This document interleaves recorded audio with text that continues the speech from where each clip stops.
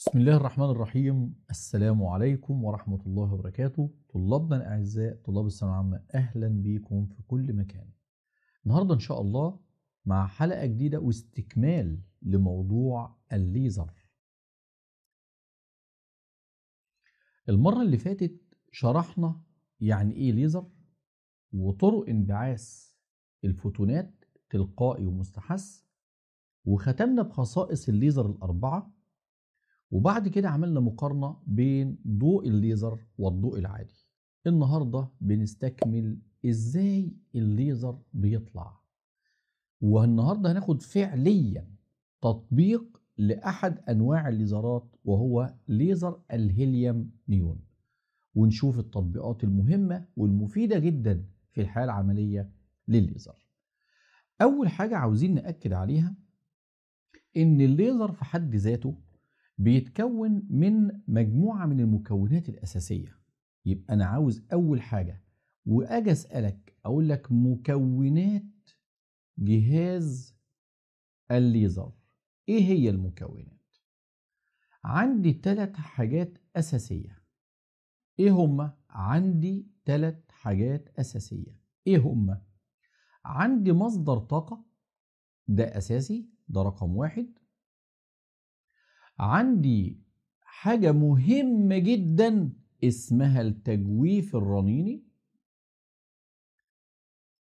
عندي حاجة هي صلب الليزر العمود الفقري في الليزر وهي الوسط الليزري والمادة الفعالة. طيب حبايبي تعال نشوف حاجة. مصدر طاقة تجويف رنيني وسط فعال أو مادة فعاله عشان كده الليزر كرسم تخطيطي كده نشوفه مع بعض لازم بيكون عندي آدي انبوبه الليزر اللي غالبا بتصنع من مادة الكوارتز. الانبوبه دي بيبقى فيها غازين. غاز اسمه الهيليوم وغاز اسمه النيون والنسبة كنسبة 10 إلى واحد. يعني ببساطة كل ذرة نيون بيقابلها عشر ذرات هيليوم. وكمان عندي هنا مرايتين واحدة بتبقى عاكسة مية في المية يعني ولا فوتون يعدي والتانية شبه عاكسة. يبقى مش الاتنين عاكستين ولا الاتنين شبه عاكستين.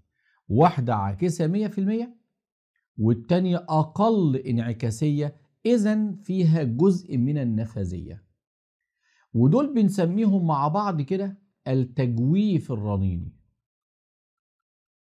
الحاجة التالتة عندي هنا لازم مصدر طاقة. مصدر طاقة يبقى فيه هنا مصدر للطاقة. يبقى أنا دلوقتي عايز أقول كمثال. عشان نطلع الليزر اللي اتفقنا له أربع خصائص نقاء طيفي وتوازي وعالي شدة ومترابط الأربع خصائص في الليزر دول. عشان نطلع ليزر يتمتع بالأربع خصائص دول. لازم يكون عندنا إيه؟ ثلاث حاجات. الثلاث حاجات دول مصدر طاقة هنعرف يعني إيه؟ تجويف رنيني وسط ليزري. إحنا حاولنا دلوقتي نربط ما بين المكونات الرئيسة والأساسية ونموذج هندرسه فعلا. عشان تبقى انت عارف مصدر طاقة آه لازم عندي حاجة تبدأ تعمل إثارة. تجويف رنيني عندي مرايتين واحدة عاكسة والتانية شبه عاكسة وسط ليزري آه ده في مادة اسمها مادة ليزرية ولكن هل كل الليزرات كده؟ لأ. ده أنا مصدر الطاقة ده في حد ذاته حبايبي الغاليين ممكن يبقى عندي مصدر ضخ ضوئي. يعني أنا ممكن في بعض الليزرات يبقى مصدر إضاءة ضخ ضوئي. يعني في بعض الليزرات يبقى مصدر الطاقة عندنا نوع من الضخ اسمه الضخ الضوئي. وممكن أستخدم على فكرة الليزر نفسه كمصدر للإثارة والطاقة. زي ما بيحصل في بعض أنواع الليزرات التي تعتمد على الصبغات السائلة. وممكن أستخدم مصدر ضخ كهربي. وده نوع من أنواع التفريغ الكهربي زي ما بناخد في ليزر الهيليوم نيون.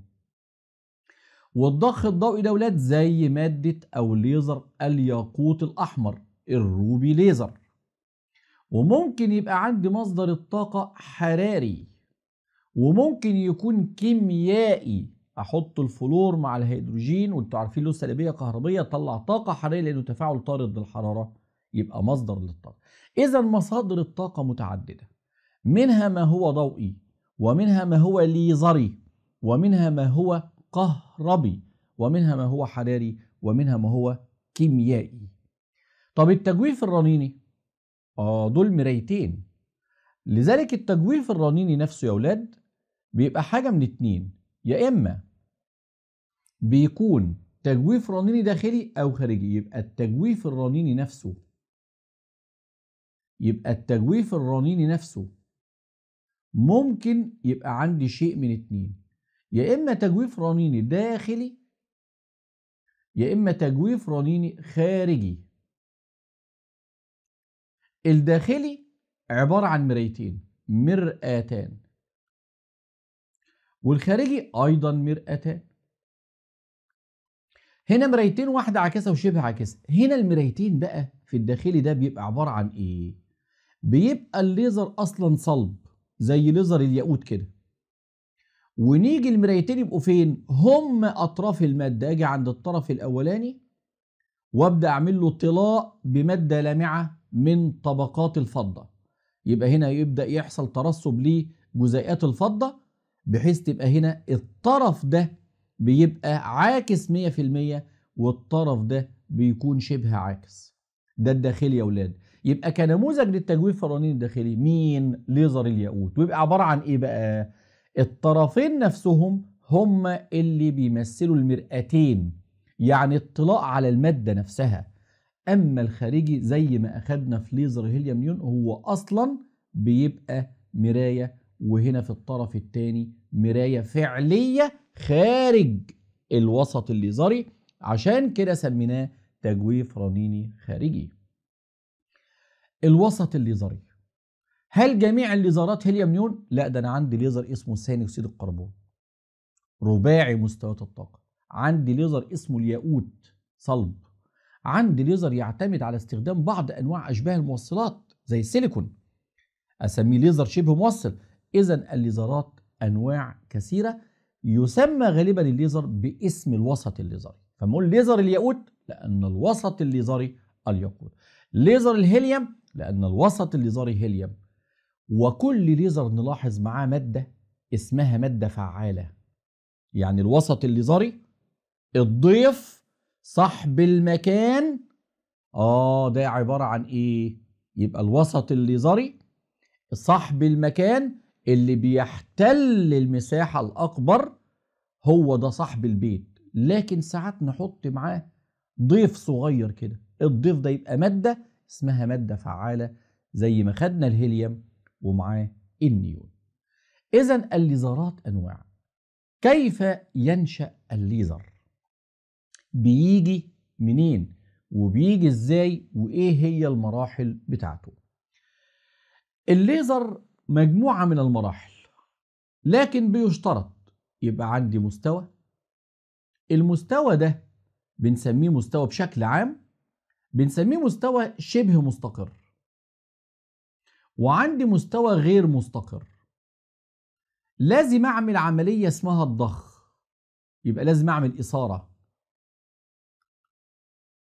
وبعمل الضخ ده بشروط معينة.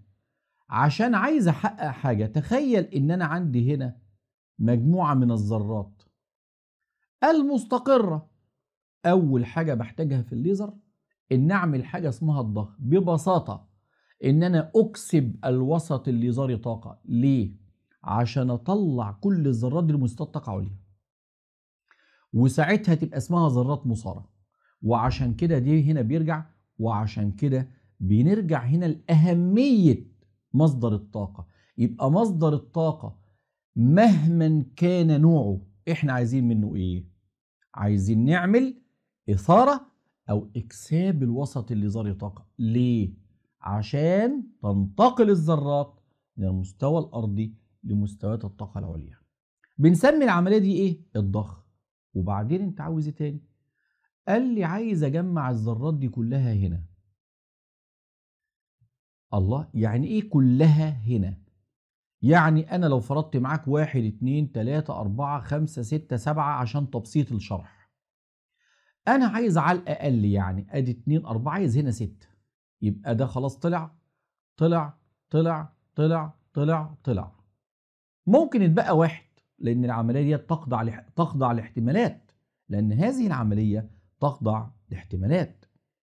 لكن إذا نجحت إن أنا أخلي معظم الذرات في مستويات الطاقة العليا يبقى حققت أهم حاجة عندي لو نجحت إن أنا أوصل بإن معظم الذرات في مستويات الطاقة العليا أبقى نجحت جدا إن أنا أعمل عملية رقم اتنين اللي أنا أسميها إسكان معكوس يبقى لو سألتك ما هو الإسكان المعكوس عملية يقصد بها أن يكون عدد الذرات في مستويات الطاقة العليا في المستوى الشبه مستقر في المستويات الأعلى في مستويات الإثارة أكبر من عددها في المستوى الأرضي يعني ببساطة لو عندي هنا 100 ونجحت أطلع 98 وكلهم قاعدين فوق أبقى عملت حاجة اسمها إيه؟ إسكان معكوس تيجي عملية ثالثة هل ستبقى الذرات مصارة إلى الأبد؟ اتفقنا لأ أمال إيه اللي يحصل؟ تيجي ذرة بقى تخلص وقتها العشرة أس سالب 8 وترجع أسمي دي ثلاثة انتقال تلقائي. طالما قلت بعد انتهاء العمر الزمني. تنزل دي تعمل وراها رقم أربعة. لأن هذا الانتقال يطلع فوتون ماله يجبر أحد الذرات الأخرى على العودة قبل انتهاء فترة عمره الزمني. ولذلك يحصل رقم أربعة انبعاث مستحث. قول لي كده الأربع مراحل اللي فاتوا قبل ما نكمل. عملنا ضخ احتاجنا مصدر طاقة. عملنا إسكان معكوس له شروط هنتكلم عنها حالا. ثلاثة عملنا انتقال تلقائي أو حدث انتقال تلقائي. أربعة نشأ وراءه مباشرة انبعاث مستحث يخرج الليزر؟ لا. أمال إيه اللي يجرى؟ لما يطلع بقى فوتون جاي بالتلقائي والتاني بالمستحث يجي دور المرايتين دول بقى ويحصل انعكاسات متتالية انعكاسات متتالية. إلى أن تتقرر عملية الانبعاث المستحث ويبقى عندي عدد كبير من الفوتونات هو ده اللي هيعمل الليزر. إذا أنا أحتاج خمس مراحل لإنتاج الليزر. ضخ سكان معكوس انتقال تلقائي بعث مستحث تضخيم. خمس خطوات اسمهم مراحل عمل الليزر. تعالى نطبقهم في الشغل بتاعنا ونشوف ليزر الهيليوم نيون كنموذج. أول حاجة لازم نعمل ضخ منين؟ آه بس خلي بالك هرسم لك رسمة بسيطة شبه دي بالظبط. بس أسهل عليك شوية. أنا عندي المستوى الأرضي وعندي آدي الهيليوم وعندي قصده مستوى كمان مستوى كمان. يبقى آدي المستوى الأرضي وآدي المستوى اللي وراه أنا ممكن أسمي ده E zero واسمي ده E واحد واسمي ده E اتنين واسمي ده E تلاتة. ده مستوى مين؟ الهيليوم وده النيون. فاكرين يا ولاد قلنا النسبة بينهم كام إلى كام؟ آه 10 إلى واحد. يعني يا ولاد كل ذرة نيون قاعدة في وسط 10 ذرات هيليوم بكل بساطة. كنسبة 10 مين الوسط؟ الليزري الهيليوم. من هي المادة الفعالة المسؤولة عن إنتاج الليزر؟ النيون. إيه اللي بيحصل؟ أول مرحلة أهي اسمها الضخ. تقصد إيه بالضخ يا سيدي؟ أقول له إكساب الوسط الليزري طاقة لكي تنتقل الذرات من المستوى الأرضي إلى مستوى الطاقة العليا. عملت عملية ضخ. طب الضخ نوعه في الهيليوم نيون إيه؟ كهربي. عملية تفريغ كهربي داخل أنبوبة الليزر اللي الضغط جواها 6 من 10 ملم زئبق أقل من الضغط الجوي بكتير عشان ما يعوقش حركة الإلكترونات والأيونات. تاني حاجة يحصل تصادم. يجي بقى حبايبي الغاليين الهيليوم المصار يخبط في النيون المستقر. تبقى النتيجة الهيليوم يرجع والنيون يبقى هو اللي مصار يبقى تاني حاجة اسمها التصادم الغير مرن. هدفه تنتقل الطاقة من الهيليوم إلى النيون. يجي بعد كده يحصل العملية التالتة. ألا وهي ذرات الهيليوم عادت. يبقى ذرات الهيليوم مالها؟ عادت. تعود ذرات الهيليوم. وتستمر خد بالك من دي قوي عملية الضخ تفضل مستمرة. يعني مش الشوية اللي طلعوا والسلام عليكم. لا ده الضخ مستمر. يعني في تدفق من الذرات المصارة عمال يطلع من المستوى الأرضي للمستوى اللي فوق. وفي نفس الوقت يتميز المستوى الشبه مستقر بأن فترة العمر الزمني طويلة جدا. يبقى الهيليوم كان مستقر طلع فوق تصادم مع النيون خلى ذرات النيون هنا.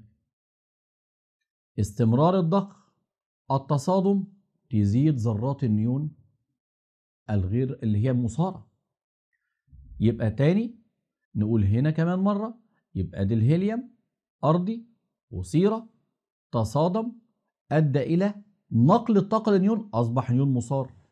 يبقى في هنا عندي حاجتين.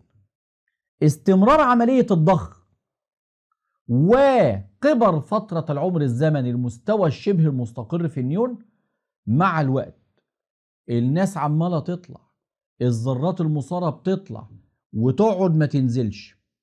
الذرات عمالة تطلع في مستوى شبه مستقر وتقعد ما تنزلش. طب ما ده مع الوقت يعمل إيه؟ بالبلدي كده تكدس. تخيل عندنا ثلاث أدوار. عمالين نطلع من الأرض للتالت وننزل نتجمع في التاني. يجي اللي ورانا يطلع من الأرض للتالت ويتجمع في التاني ومحدش بينزل. طب ما هو مع الوقت تلاقي الناس مكدسه فين؟ في التاني. وهذا هو الهدف الذي نطلق على هذه العملية الإسكان المعكوس.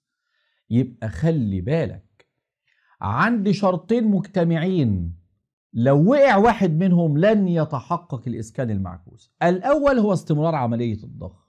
الثاني كبر فترة العمر الزمني للمستوى الشبه مستقر. تكدست الذرات وقعدت وحققت عملية الإسكان المعكوس. يجي وراها أهم حاجة. طب الذرات اللي قعدت دي بقى فوق قلنا لابد أن تعود إلى مستواها. فلا يجرى إيه بقى. يجي واحد بقى يروح راجع للمستوى الأرضي أو المستوى الأدنى. فيطلع فوتون. يبقى بعض ذرات النيون المثارة هتنزل للمستوى الأقل طاقة تلقائيا. يبقى حصل ضخ حصل تصادم غير مرن حصل إسكان معكوس حدث رقم أربعة انتقال تلقائي. طب ما هيطلع فوتون. ماشي عشوائي. تخيل بقى عندي ذرات النيون المثارة كده وطالع لنا فوتون كده من كمان شوية طالع فوتون كده. هيعمل إيه بقى؟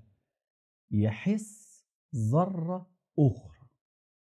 لم ينتهي فترة عمرها الزمني فتعود بالانبعاث المستحث يبقى حصل ضخ ثم حدث إسكان معكوس ثم حدث انتقال تلقائي ثم حدث انبعاث مستحث يطلع فوتونين واحد كان تلقائي والتاني مستحث يخرجوا هنا سيأتي دور التجويف الرنيني.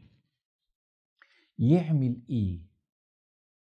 يزيد فيزيد فيزيد فيزيد. إيه اللغة دي؟ يزيد من عملية الانعكاس الفوتونات بين المرآتين العاكسة والشبه عاكسة.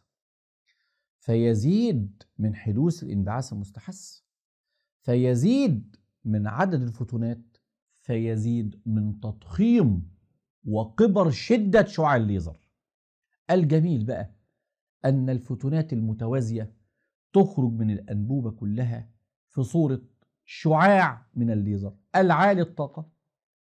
بس والتردد وله نفس الاتجاه. هنا هنيجي بقى وناخد بالنا جدا. لما شدة الإشعاع توصل لحد معين تتغلب على المرآة الشبه عاكسة وتطلع في صورة ذرات النيون. تطلع في صورة شعاع من ليزر الهيليوم نيون لما نوصل بقى لهذا الحد ويوصل شعاع ده عالي الشدة يخرج في صورة شعاع من ليزر الهيليوم نيون. الليزر له تطبيقات عديدة. أهم هذه التطبيقات هو ما يسمى بالهولوجرام. الهولوجرام أو التصوير المجسم. التصوير العادي اللي إحنا بنعتاد عليه الثنائي الأبعاد ده عبارة عن أشعة بتسقط على الجسم. الأشعة المنعكسة عن الجسم تحمل نوعين من المعلومات. من هم؟ عندي معلومة اسمها اختلاف الشدة الضوئية. وإيه كمان؟ واختلاف فرق الطول يبقى المعلومات يبقى شعاع الضوء. يبقى خدوا بالكم الضوء اللي سقط على جسمي. وانعكس شايل معلومات جسمي. يعني كل المعلومات نقلت في هذا الضوء على هيئة شفرة قاعدة جوه الضوء. عبارة عن إيه المعلومات دي؟ اختلاف شدة ضوئية مش بس كده وكمان اختلاف فرق طول. ولذلك بنقول على الصورة دي صورة لثنائية الأبعاد الصورة العادية. لأن الحقيقة هناك معلومة تفقد تماما. لأن في الحقيقة هناك معلومة تفقد تماما. المعلومة دي هي فرق الطور يعني في التصوير العادي معلومة واحدة بس نحصل عليها والتانية لأ. إيه المعلومة اللي نحصل عليها؟ اختلاف شدة الضوء. طب واختلاف فرق الطول تتشتت. ولا نستطيع الحصول على المعلومة الكاملة عن الجسم فبالتالي لن نحصل على صورة مجسمة. فجاء العالم جابور اللي قال لنا إزاي نقدر نحافظ على المعلومات اللي بيحملها الشعاع الضوئي وعمل هذا النموذج البسيط الذي يوضح فكرة عملية الهولوجرام. ولدينا هنا نموذج يوضح فكرة الهولوجرام أو التصوير المجسم أو الثلاثي الأبعاد أو المشفر. ده شعاع ليزر لما بيطلع من شعاع الليزر كده الضوء بيتقسم الشعاع اللي طالع حتتين. حتة بتعدي وحتة بتنعكس. الشعاع اللي بيعدي ده سقط على مراية ثم على عدسة وبالتالي هيبقى أثره هنا. طب الشعاع اللي انعكس ده سقط على مرآة ثم سقط على عدسة ثم سقط على جسم. آه. يبقى هنا يا ولاد في نوعين من الأشعة. حاجة هنسميها ال reference beam أو الأشعة المرجعية. ودي اسمها الأشعة المنعكسة عن الجسم. يبقى الليزر اتقسم شعاعين يبقى الليزر اتقسم شعاعين واحد عدى على مراية عدسة. مستنى اخوه. طب التاني ده ده انعكس ما عداش أصلا. عشان كده شوف حصل له إيه؟ حصل له انقسام اهو جزء عدى وجزء انعكس. طب والجزء اللي انعكس على مراية ثم عدسه وبعدين يتقابل عندي هنا يسقط على الجسم بعد كده. يبقى هنا يلتقي نوعين من الأشعة. حاجة اسمها الأشعة المرجعية وحاجة اسمها الأشعة المنعكسة عن الجسم. يحصل بينهم تداخل. فيظهر هدب مضيئة وهدب مظلمة. طب ما أنا مش هشوف الصورة كاملة. نعمل إيه؟ نسلط عليها شعاع ليزر له نفس الطول الموجي بالظبط فيبان الجسم بتفاصيله كاملة وعشان كده كنا بنسميها الصورة المشفرة. عندي قانون في غاية الأهمية. فرق الطور بيساوي فرق المسار في 2 باي على لمدا خلي بالكم من دي قوي. يعني ممكن يقول لي فرق الطور بكذا. فرق المسار بكام؟ لو اللمضة بكذا أو يعكس. يقول لي اللمضة بكذا فرق المسار بكذا عايز فرق الطول. يدي فرق الطول وفرق المسار ويطلع باللمدا. احفظ بقى المعلومة دي مهمة جدا. فرق الطول بيساوي فرق المسار في 2 باي على لمدا. طيب إحنا شرحنا طبعا كيف نحصل على الهولوجرام لكن من ضمن التطبيقات الهامة جدا في الليزر في الطب وتحديدا علاج مرض الانفصال الشبكي. يمكن شعاع الليزر اللي هو له طاقة حرارية مناسبة إن يعمل التحام بين الأجزاء المنفصلة من الشبكية مع جدار الشبكية. فيعمل حاجة اسمها تصحيح للبصر أو علاج مرض انفصال الشبكة أنا بيهمني هنا تبقى فاهم إيه السمة أو الصفة أو الميزة اللي في الليزر عشان كده استخدمناه في الطب. لازم يكون الليزر هنا الصفة اللي فيه أنه يتميز بأن تصاحبه طاقة حرارية مناسبة.